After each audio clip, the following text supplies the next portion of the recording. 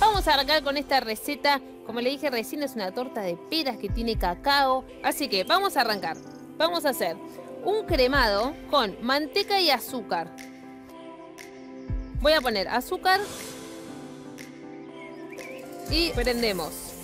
Vamos a usar cuatro peras. Tres en el relleno, que las voy a cortar bien chiquitas y una la voy a guardar, porque la voy a poner en la base de la tortera. Tenemos ya el cremado, le vamos a ir agregando los huevos. Ahora le vamos a agregar las peras, que ya las tengo cortadas.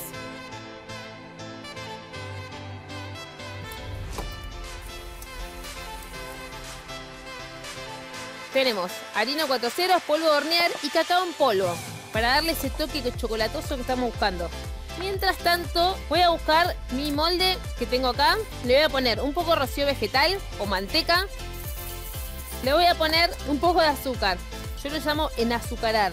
Lo muevo un poco y esto va a hacer que tenga como una costra por afuera que queda buenísimo. Agregamos harina, polvo para hornear y el cacao. Acá vamos a prender despacito, porque si yo prendo fuerte, empieza a volar eh, polvo de los ingredientes secos. Y con la pera que me sobró, lo que voy a hacer es cortar en gajos y voy a poner en la base. Los corto bien finitos, porque van a ir así crudos al horno. Y se tienen que cocinar. Voy a poner así, tratando de que quede lo más lindo posible.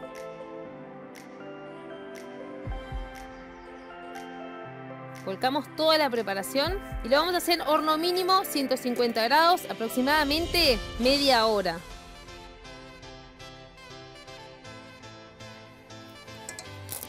Me voy al horno.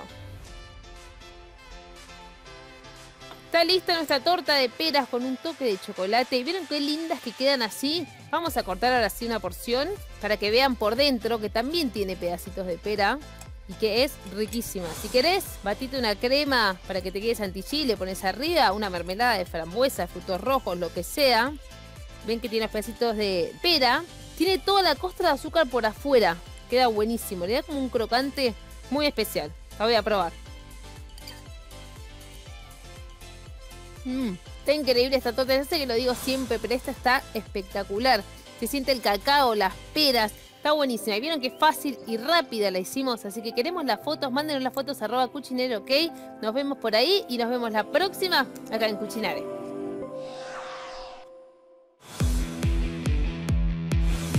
Bienvenidos a este Cuchinare, soy Balu Ramallo y hoy tenemos una torta muy especial. Tiene ananá, un ingrediente que a mí me gusta mucho, es muy dulce y combina espectacular con este bizcocho. Pero te enseño a hacerla en un ratito.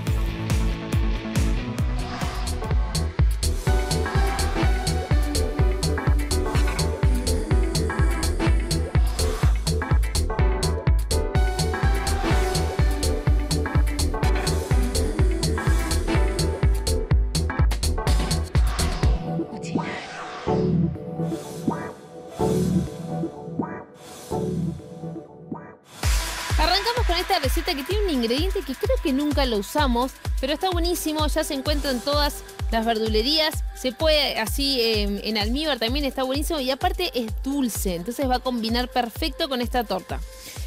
Uno de los secretos que a mí me gusta mucho hacer es esto. Ponemos manteca, rocío eh, vegetal, lo que tengan. Y en vez de harina, uh, no me voy a poder respirar. Pero en vez de harina le vamos a poner azúcar para que se forme por afuera como una costra medio crocante, que está buenísima.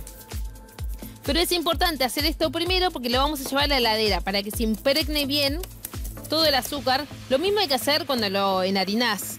Pero bueno, está bueno llevarlo para que se impregne bien y después no estemos con problemas para desmoldarlo. Está, sacamos el excedente. Ahí va y se va a la heladera.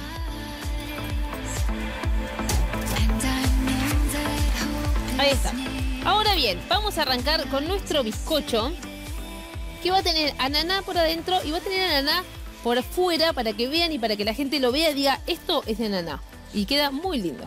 Vamos a poner manteca y azúcar en la batidora. Si puedes hacerlo con la lira, mucho mejor. Azúcar común, azúcar rubia también se puede usar. Y batimos formando un cremado. Le vamos a agregar esencia de vainilla o ralladura de limón. Lo que más te guste. Y a esta preparación le vamos a agregar ananá por adentro. Por eso va a llevar solo un huevo.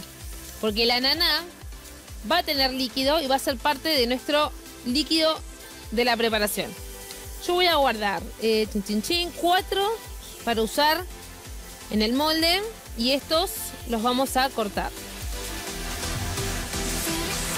Algunas recetas dicen que lo licúes. Yo prefiero cortarlo porque a mí me gusta que se vea.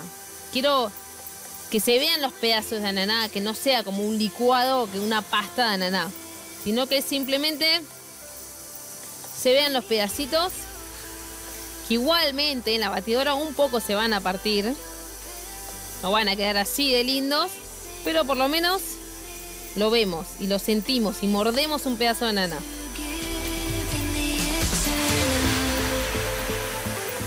Obviamente que se puede hacer con un ananá fresco, pero no siempre se encuentra y este está muy bien.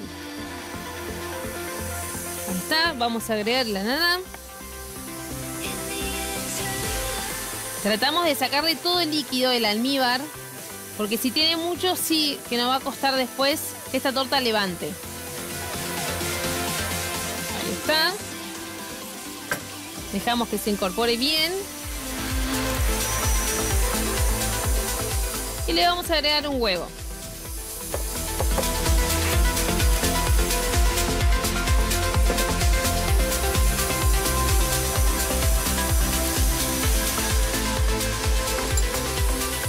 Ahí va.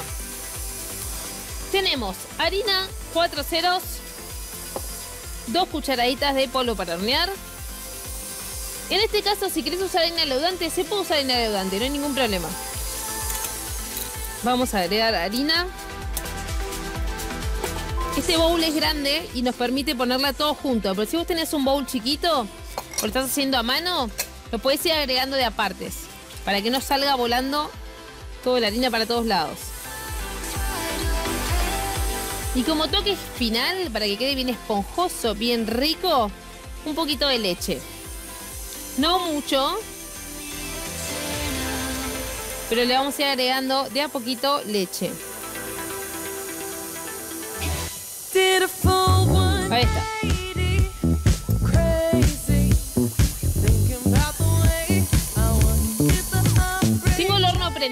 Está en 180 grados y cuando pongo la preparación lo voy a bajar a 150. Siempre los bizcochos, budines y ese tipo de preparaciones está bueno hacerlos a 150 porque tiene una cocción pareja. Si yo lo pongo más fuerte, se va a dorar por afuera y va a quedar medio crudo en el medio. Entonces con 150, 160 le damos como una cocción bien pareja. Voy a buscar el molde. Ahí está. Y lo que voy a hacer, porque me gusta y porque me parece que queda espectacular, es ponerle unas rodajas de ananá abajo para que después lo demos vuelta y nos quede la capa crocante que le da el azúcar y los pedazos de ananá por arriba. Si te gusta cortarlo al medio y hacer, viste, como si fuesen todas medialunas de ananá, también se puede. ¿Va?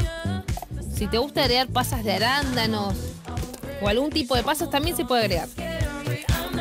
Volcamos bien la preparación.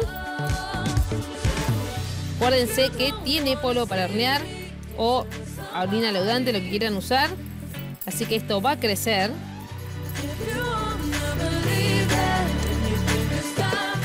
Si no te gusta o no tenés ananá, se puede reemplazar por pera o por manzana, pero ya creo que recetas de pera y manzana hicimos miles. Así que animate la ananá, es muy dulce como les dije al principio y es muy rico. ¿Va?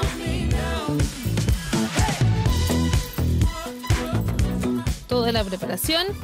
Y ahora sí, vamos al horno.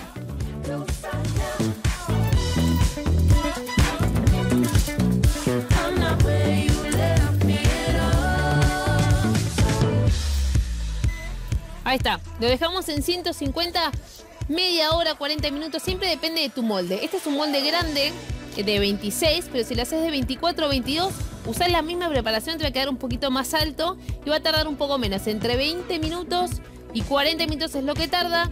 Como siempre, pinchamos con un palito. Si sale seco, está listo. Pero vamos a dejar media hora. Yo creo que media hora bastante. Limpio un poco y ahora seguimos.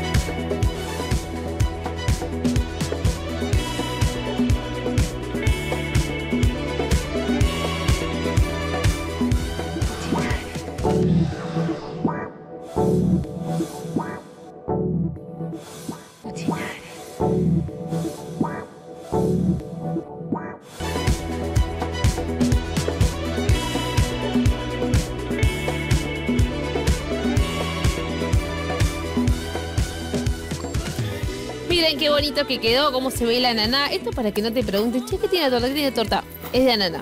Y ahora sí, vamos a ver cómo quedó por adentro. Pero también, ¿ven cómo quedó la costra de azúcar?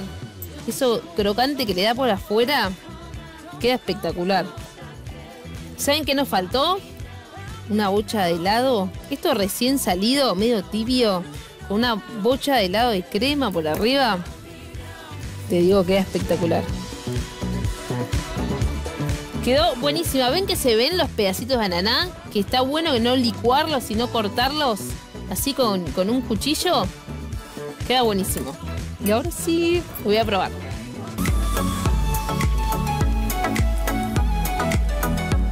Mmm. Buenísima, re húmeda.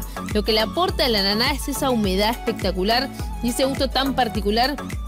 Y como siempre, muy fácil de hacer. Háganlo en sus casas. Queremos ver sus fotos. Queremos ver las fotos en arroba cuchinero, ok. Yo me despido porque quiero probar un poquito más, así que ustedes ya pueden irse y nos vemos la próxima acá en Cuchinare.